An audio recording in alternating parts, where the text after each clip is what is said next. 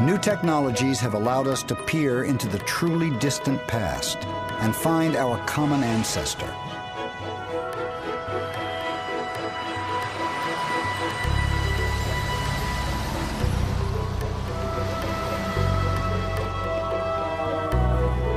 If we were to run the clock of life backwards, condensing hundreds of millions of evolutionary steps into a minute or so, we would come face to face with the simple organism that started it all.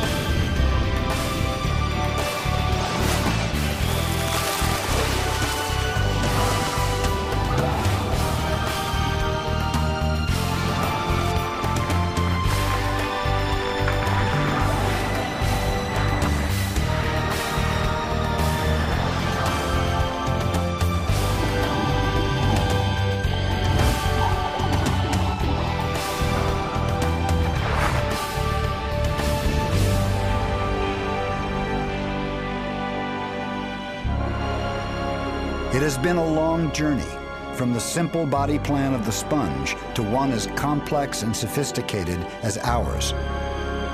But without this basic platform to build upon, evolution could not have created the myriad creatures that inhabit every environment on our planet.